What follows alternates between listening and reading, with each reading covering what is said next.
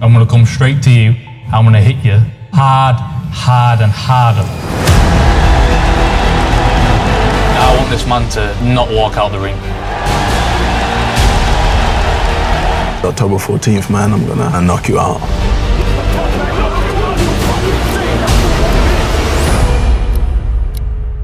The winner by majority decision, Tommy